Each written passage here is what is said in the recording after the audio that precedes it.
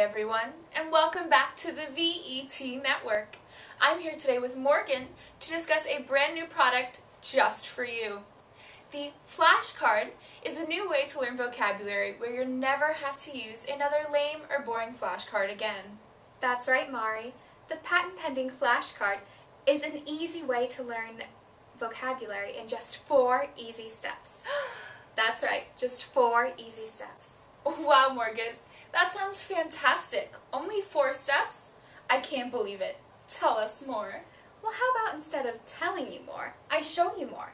Let's head over to our live demonstration to show you just how easy and effective the flashcard really is. Let's say you're reading a book and you come across an unknown word, the word indelible. What should you do? Go to dictionary.com, of course, to find the definition. Type in the word indelible, and very quickly you'll see the definition. First, you might want to hear what the word sounds like. Indelible. Then you'll want to check out the definition. Indelible is an adjective for making marks that cannot be erased, removed, or the like. And dictionary.com also shows you the origins of this word, the time period it's from, and the related forms. It's always handy to know what other ways you can use your word. You can also find the contemporary examples of indelible in use. Now, what should you do with this knowledge? Create a flashcard, of course, with our patent pending The Flashcard system. Type your word in the center of the flashcard, indelible. Then, consider what should the definition be? Begin by marking down what form the word has taken. Indelible is an adjective.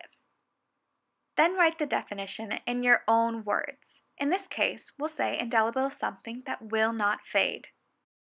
The next part of the process is to find a synonym. So simply go back to dictionary.com and go to its partner website, thesaurus.com. Thesaurus is a place where all the synonyms for words are found. So if you type in indelible, you'll see the synonyms and antonyms of the word. Now, what you're going to want to do is look for a word that you recognize. That way, you can connect the new vocabulary word to your pre existing vocabulary. Let's say memorable is the word that we recognize in this situation.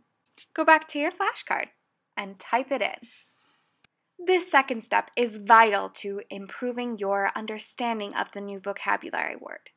And it's also very similar to the third step, finding the antonym for the word. So let's go back to thesaurus.com.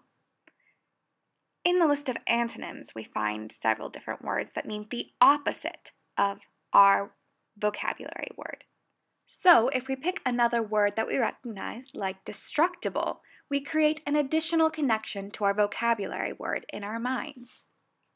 That's why the flashcard system is so effective.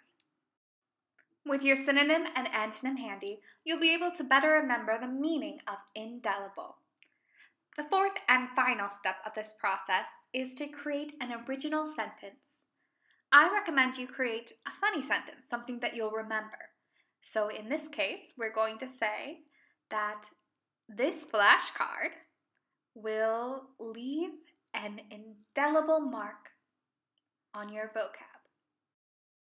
The flashcard system, with its four easy steps, is designed to help you remember your vocabulary words in your everyday life by connecting it with what you already know. Now, though I've just shown you this with a computer demonstration, studies have shown that it's actually more effective to handwrite the flashcards because it engages your mind on a few different levels. If you're a kinesthetic learner or you learn with your hands, then handwriting the flashcards is a more effective way to for you to get the new vocabulary words into both your head and your hands. Sounds super. Mm -hmm. With this patent pending process, you'll not only learn the definition of your new vocabulary words, but be able to connect it to your pre-existing vocabulary and create your own original sentences. Once you've created your own stack of the flashcards, you'll be able to memorize and practice with them each night to learn your new vocabulary. Wow, Morgan, this is fantastic. Such an easy process to learn vocabulary, and I'll never have to look through another stack of boring flashcards again. Now, learning vocabulary is going to be so much more memorable. Or should I say indelible? Oh, good one. Now, I'm sure all of you want to start using the flashcard technique at home.